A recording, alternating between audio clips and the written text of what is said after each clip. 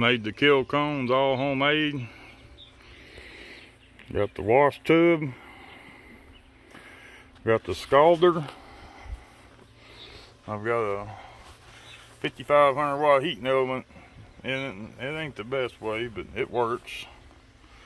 I got my homemade chicken plucker. It's catching the feathers pretty good.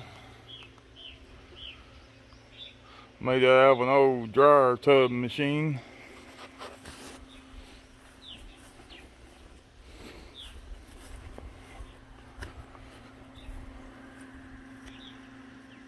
Turn it on with this.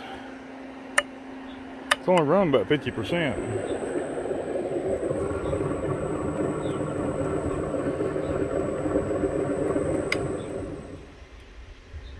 I got this for my scalder. It controls the hot water heater element. Need to figure out a way to get rid of that and get the speed right. I even made my own homemade pulley down there.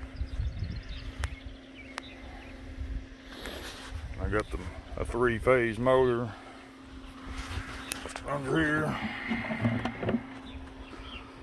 Yeah. Got the wheels on it so I can move it around. Got the handles like a dolly. Works good.